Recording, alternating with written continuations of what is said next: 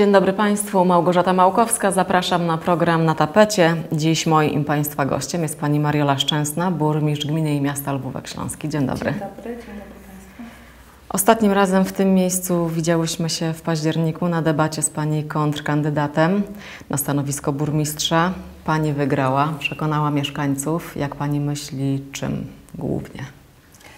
To znaczy, ja myślę, że tym, że e, e, byłam bardziej wiarygodna e, i stanowcza. No, mój kan- kontrkandydat nie mówił nic nowego, tylko przedstawiał to, co ja jeszcze 4 lata wcześniej mieszkańcom w swoim programie przedstawiłam. I tak naprawdę w jego programie to była kontynuacja tego.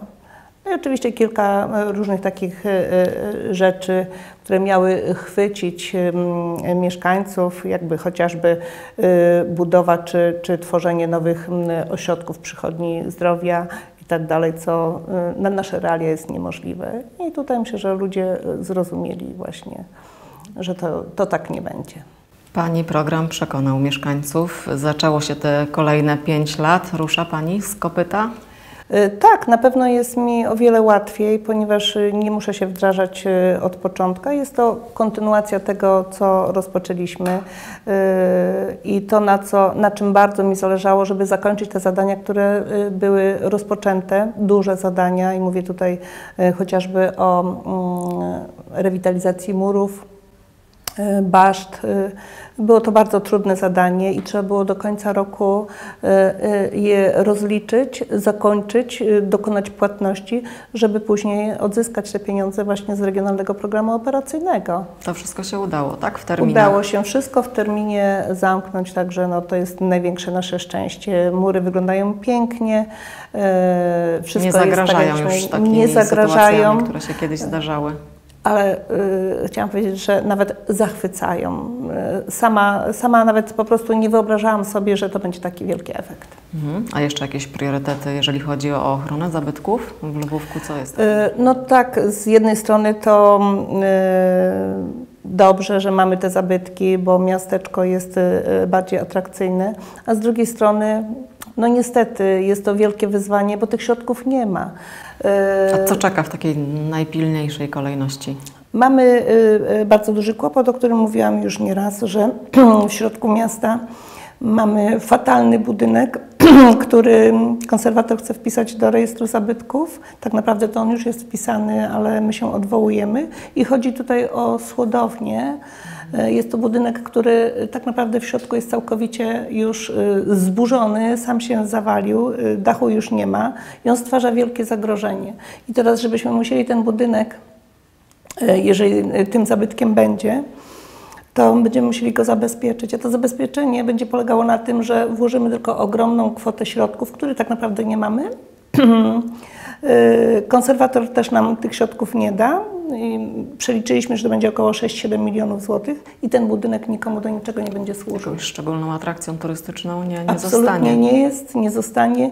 Nie ma nic w środku tam z żadnych y, y, y, takich jakichś artefaktów, y, ani stałych, ani ruchomych, które mogłyby czymś zachwycić i przyciągnąć turystów. To będziecie jakoś walczyć z tą decyzją? Y? Tak, tak, będziemy walczyć, już walczymy zresztą, y, to już trwa. Y, Na razie nie wiemy, na jakim to etapie jest, ale nasze argumenty są naprawdę mocne i tym bardziej, że konserwator mm, na początku pozwolił nam zrobić pierwsze kroki, czyli zrobić analizę, czy ten budynek nadaje się do czegoś. I analiza wykazała, że tylko do rozbiórki. Więc nam chodzi o to, żeby to rozebrać. Mamy nawet już chętnych, którzy y, odbudowaliby w podobnej, w podobnym kształcie, w podobnej bryle budynek, ale który byłby funkcjonalny, który czemuś by służył i To przede wszystkim nie byłoby zagrażał sensowniejsze. byłoby sensowniejsze. Moglibyśmy wykorzystać powiedzmy te gzymsy z okien, wszystko to, co tam z, tych, z tego budulca y, y, można by było wykorzystać. Byłoby to sensowne i naprawdę z korzyścią dla, dla nas, dla gminy, dla mieszkańców, y, dla wszystkich. I taki krok do przodu, a nie zatrzymywanie się gdzieś tam, nie Dokładnie. wiadomo w jakim punkcie. A z początkiem roku Lwówek Śląski otrzymał nominację od Polskiego Kongresu Przedsiębiorczości y, do tytułu Lider Rozwoju Regionalnego 2019 za pozyskiwanie środków europejskich i wykorzystywanie je dobre. Za co konkretnie? Ta fundacja? Y, em, Rozmawiałam właśnie tutaj z przedstawicielem y, tego kongresu i tutaj y, to chodzi właśnie o te mury.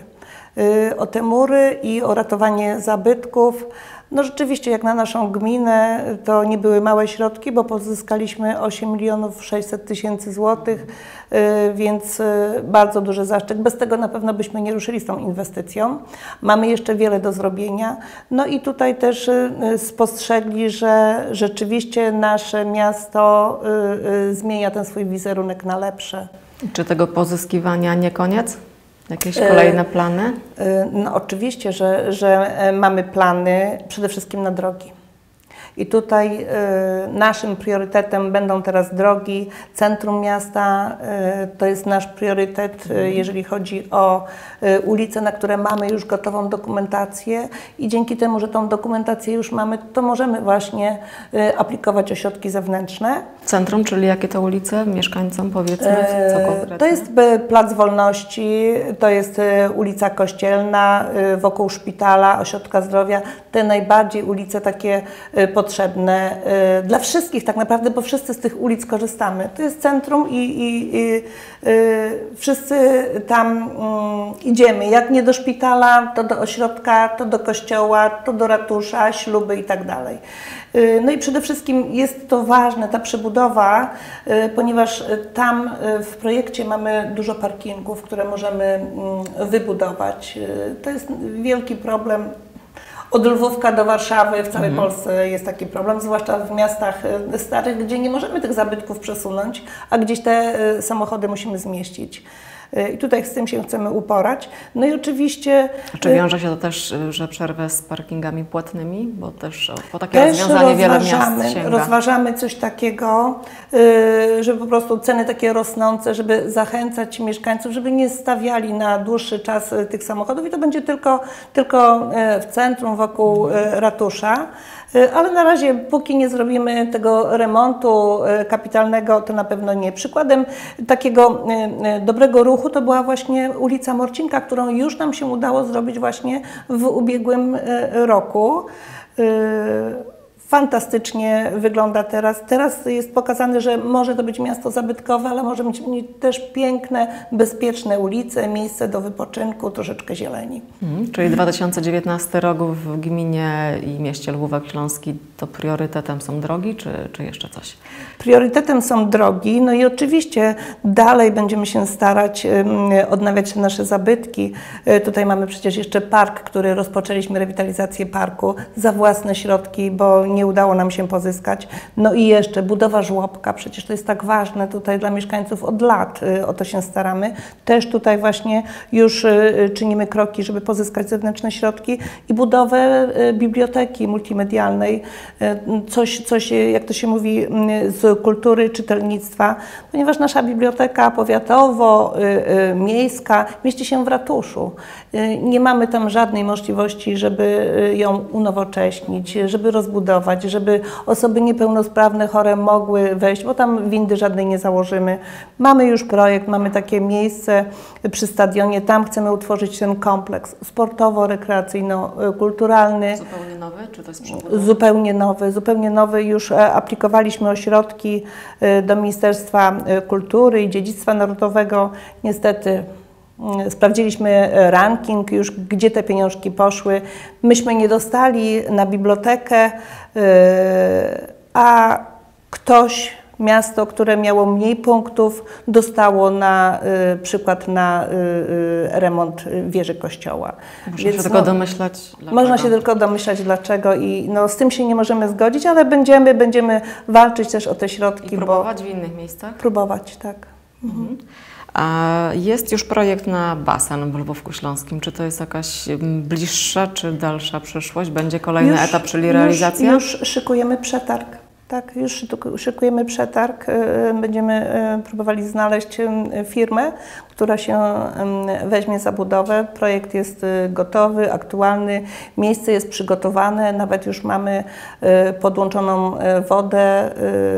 y, Tutaj przedsiębiorstwo wodno-kanalizacyjne jeszcze w ubiegłym mm, roku te zadanie zrealizowało i tak naprawdę jest to już taki pierwszy wkład w, mm, o wartości pół miliona złotych, czyli niemały. Y, Tutaj wiemy, że ciężko będzie nam pozyskać jakiekolwiek środki, bo nie jest to basen taki, jakie są preferowane w wszelkich programach y, Ministerstwa y, Sportu. Czym się różni? No tym, że nie jest pełnowymiarowy, możemy pozyskać środki tylko na pełnowymiarowe y, baseny. My takiego basenu nie wybudujemy, nasze miasto jest za malutkie. To są baseny takie jak w Warszawie, w wielkich tych miastach. Na delfinka też nie, bo są na przykład w, na Dolnym Śląsku na budowę delfinka, ale delfinek to jest znów przyszkolny, to jest maleństwo, które y, służy tylko powiedzmy dla szkoły, dla tych uczni y, do nauki. Być może jeszcze się kiedyś pochylimy właśnie, żeby przy którejś z tych dużych naszych szkół takiego delfinka wybudować. Natomiast to jest całkiem co innego. Ten basen odkryty z podgrzewaną wodą, z wszelkimi atrakcjami ma służyć mm, y, rekreacji całej rodziny, y, dzieci i dorosłych właśnie w okresie letnim, y, żeby mieli jakąś alternatywę spędzenia wolnego czasu. Znajdą się na to pieniądze? Y, Tak, tak, mamy zabezpieczone w budżecie. Przetarg kiedy? Mhm. Y, W przyszłym miesiącu, w marcu. Czyli już ten tak, rok. Tak, tak, tak, oczywiście. możliwe tak. w tym roku? Mm, Możliwe tylko wtedy, jeżeli znajdzie się wykonawca, który zmieści się w naszym kosztorysie. Mhm. Pamięta Pani kwotę? Ojej, nie chcę mówić, y, tam się nic nie zmieniło, ale y, około 5 milionów złotych. Taki, taki y, kosztorys. Tam, ta różnica wiem, że w mm, ubiegłym roku właśnie o to się rozbiło, że ten basen nie został wybudowany, ponieważ mm, koszt budowy przez, przez tego wykonawcę był o, chyba o 1 700 000 wyższy, stąd też Rada odrzuciła tą ofertę i dlatego nie budowaliśmy. W ostatnim czasie w Lwówku Śląskim odnotowano akty wandalizmu. W tym tygodniu też atak nożownika w Parku Miejskim. Czy monitoring konk- konkretnie pomaga w takich przypadkach? Bo też w ostatnim czasie zmodernizowano w całości monitoring w Lwówku Śląskim. Będzie Tak. on jeszcze rozwijany, czy to Tak, jest na razie... oczywiście. Tak, oczywiście. Y, Rzeczywiście zostały zmienione wszystkie kamery y, na już bardzo takie nowoczesne, y, które dają wyraźny obraz osób, które chcemy tam po prostu, czy, czy, czy tych czynów, które chcemy odczytać. I tutaj już mamy takie przykłady, że rzeczywiście korzysta z tego policja, y, a te, ten wandalizm, o którym y, Pani mówi, no, y, to rzeczywiście było bardzo nieoczekiwane. Zaczęło się od tego, że właśnie kiedy oddaliśmy mm, rewitalizację tych murów i zieleń dookoła tych murów, okazało się, że ktoś z mieszkańców wyrwał około 40 sztuk mm, krzewów, innymi azalie, rododendrony, różne inne, które miały nam cieszyć oko y, na wiosnę. To Ktoś zostało- wolał, żeby było po staremu. E, Tak, ktoś pewnie tak wolał, albo po prostu no, komuś się nie podoba, że wychodzi nam to, co żeśmy sobie zaplanowali. Nie wiem, trudno mi jest powiedzieć, jaki był cel tego.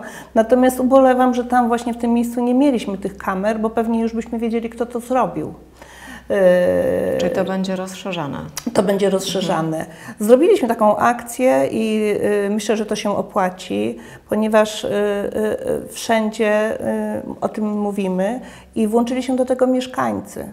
I tutaj y, chcę podziękować mieszkańcom właśnie za takie y, stanowisko, ponieważ to jest nasz majątek wspólny, to jest nasze wspólne miasto, nasze mienie, to są nasze pieniądze, chcemy, żeby było pięknie, więc mieszkańcy y, bardzo patriotycznie do tego podchodzą i tutaj następny wandalizm to jest y, właśnie w parku, gdzie zrywano już nawet kostki i wrzucono, y, wrzucano do stawów. Rozbito też chyba lampy, tak?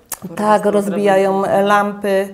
Y, Jeżeli chodzi tutaj o to, to nawet mieszkańcy robili zdjęcia y, y, tym osobom, tym wandalom i tutaj toczy się właśnie postępowanie co właśnie do, do tych czynów. E, I mam taką nadzieję i wierzę, że czegoś to e, nauczy właśnie mieszkańców czy rodziców dzieci, e, które takie rzeczy robią. I takiej postawy, żeby zwracać postawy, uwagę, żeby, żeby zwracać uwagę, żeby to nie było, żeby skończyć z tymi takimi stereotypami, że nie będę donosił, prawda? Że nie jestem donosicielem. To nie o to chodzi. Bo to nie moje, a to jest Tak. przecież wspólne. A to jest wspólne. I też mieszkańcy za to zapłacili, prawda? Dokładnie tak. E, A co z rozwojem turystyki w Lwówku Śląskim? Bo były takie też e, szerokie plany. To może tak Mhm. krótko, czy w 2019 też jakieś kolejne kroki? No przede wszystkim y, ta turystyka, no to, to jest właśnie to, czym mamy zachęcić turystów. To jest właśnie, to są te nasze zabytki. Y, O naszym Lwówku Śląskim mówi się rzeczywiście i to y, ja wiem sama, y, y, jak turyści przyjeżdżają, jak mówią, że jest pięknym miasteczkiem, że warto tutaj przyjeżdżać, więc to jest taki pierwszy krok. Ta Drugi- Szwajcaria też lwówecka, prawda? Uporządkowanie tego terenu. Zrobiliśmy, I tam miał być zrobiliśmy, kolejny etap. Tak, i już, już zrobiliśmy właśnie z projektu przy udziale współpracy właśnie z mm, Interregu, z Euroregionu Nysa, yy, z miastem yy, partnerskim z Chrastawą, yy, z niem, niemieckim stowarzyszeniem z Nochten. To są projekty, które właśnie realizujemy. Szwajcaria została yy, zabezpieczona teraz mm, yy, tak jak było to kiedyś, y, mamy odnowione łańcuchy dookoła ścieżki y, edukacyjnej. Y, Na samej górze mamy zabezpieczone mm, y, skały widokowe y, dla bezpieczeństwa w ogóle mieszkańców i tych y, tam y, korzystających turystów. Y, Mamy małą infrastrukturę już y, y, postawioną. Można tam naprawdę całą rodziną pojechać na Szwajcarię, y, tam sobie odpocząć, tam zrobić sobie piknik i w, dalszym, y, w dalszej kolejności właśnie planujemy przywrócić nawet Buchholz, y, tą całą górę tak jak to kiedyś było, żeby tam, żebyśmy my jako miasto i mieszkańcy mogli tam korzystać i robić festyny, bo jest to fantastyczne miejsce. Czyli zaprasza Pani do Lwówka. Tak, oczywiście do Lwówka zapraszam, gdzie tylko nie jestem. y, y, y, Wszędzie mówię, że warto tutaj przyjechać, tym bardziej, że jest to urokliwe miejsce i jest wszędzie blisko. Problem mamy tylko z tym, że nie mamy na tyle noclegów, na ile Lwówek Śląski potrzebuje, zwłaszcza w okresie, kiedy mamy lwóweckie lato agatowe. To jest też nasza marka. Inną, inną rzeczą to jest marka piwa lwóweckiego. Też zachęcam do tego. Y, Jest nowy zarządca browaru, ma inne spostrzeżenie. Y, Tutaj właśnie jesteśmy już po spotkaniach y, o, o szerokiej, naprawdę szerokiej współpracy gminy z browarem. Będziemy wspólnie robić eventy, wspólne imprezy promocyjne. Także myślę, że idziemy w dobrym kierunku. To te plusy, a jeszcze chwileczkę o minusach. Największe dziury w budżecie lwóweckim? Pani redaktor, największa y, y, dziura, największy problem to jest edukacja. I to nie jest tylko problem y, u nas w naszej gminie, w Lwówku Śląskim, ale tak jak spotykamy się na konwentach, wczoraj spotykałam się z przedstawicielami Związku Gmin Wiejskich, Związku Miast Polskich. Y, Problem y, ten wiem, że jest bardzo duży, a chodzi tutaj o to, że subwencje, jakie dostajemy, są y, ciągle za małe na nasze potrzeby. Nawet połowy nie pokrywają. Nawet połowy. Patrząc na nasz Lwówek Śląski, powiedzmy, że w budżecie mamy 23 miliony złotych ogólnie na oświatę, prawda, y, łącznie z przedszkolami.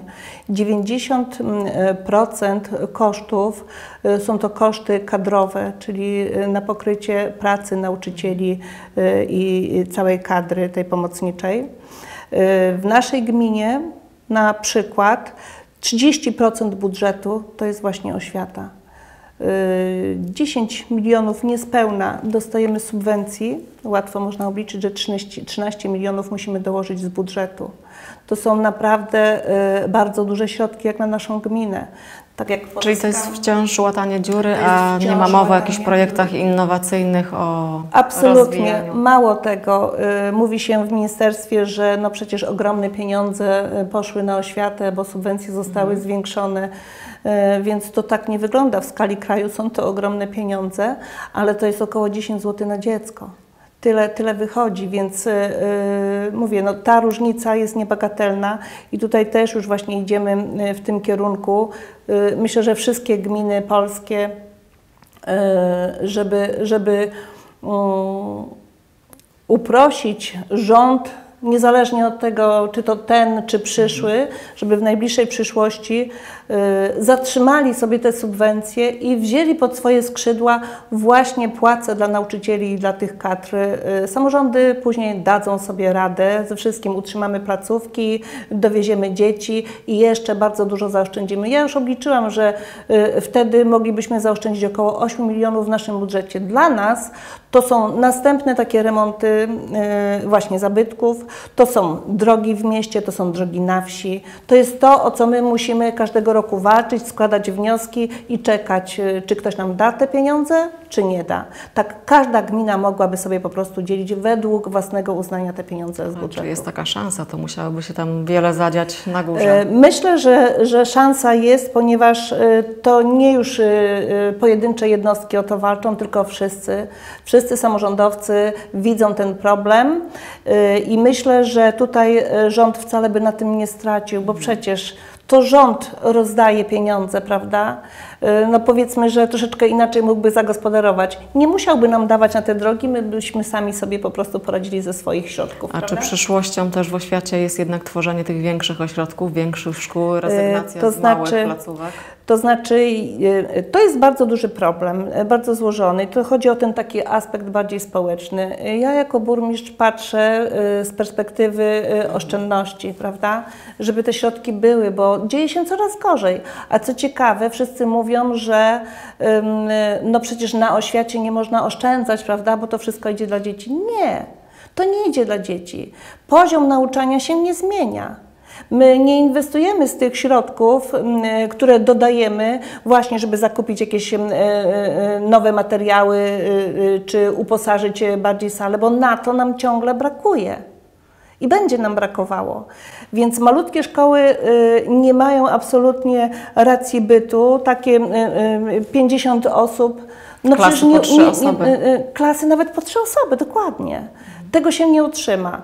Jedyną szansą, żeby te szkoły miały miejsce bytu, bo one przecież muszą być teraz od 1,8, prawda? Tak. Ewentualnie filie, a filia to jest tylko 1,3 bądź 1,4. Mm, tutaj już mamy taki problem na przykład w Zbylutowie, że mieszkańcy walczą, żeby odłączyć filię, która była filią, została filią, bo chce mieć, mieć e, szkołę samodzielną. I to już jest taki właśnie zgrzyt między burmistrzem a społeczeństwem Zbylutowa. I absolutnie na to się nie chcę zgodzić, ponieważ Próbuję wytłumaczyć, że musimy poczekać na tą chwilę, jak sobie radę da szkoła w Niwnicach, jak sobie radę da szkoła w Płuczkach, które są tymi samodzielnymi szkołami. Też niewiele tam dzieci chodzi. One są wyposażone, one mają, mają powiedzmy boiska, ale ja nie wiem, jak te dzieci sobie dadzą tam radę, czy rodzice rzeczywiście wytrwają przy tym, żeby w klasie było pięcioro dzieci. Przecież nie ma tam żadnej e, konkurencji. E, Y, te dzieci no, mogą się tam dobrze uczyć, później pójdą do dużych szkół i może być problem. I będą zagubione. I będą Ten zagubione. rok jest w ogóle takim rokiem y, przełomowym, prawda? 2019, gdzie pójdą te dwa roczniki i gimnazja i podstawówki, które spotkają się w jednych szkołach jest, tak. w różnych y, tych nurtach. Tak, to jest problem. Także będziemy, problem. będziemy się temu przyglądać. będziemy nadzieję, się temu przyglądać my też, ponieważ no, wiemy, że inaczej będą nauczane dzieci, które kończą ósmą klasę, klasę, inaczej ci z gimnazjum, prawda? To jest ten y, przełom i pewnie wszystko potem wróci do y, normy. Myślę, że, myślę, że tak, tak jak zawsze y, nad tym się pracuje. No, to będzie na pewno problem też szkół właśnie ponadpodstawowych, jak sobie z tym poradzić, ale na pewno no, wiele dzieci, młodzieży nie dostanie się do tych szkół, gdzie sobie zaplanowały, bo tutaj będzie problem z miejscami. Oby było jak najlepiej w tym temacie.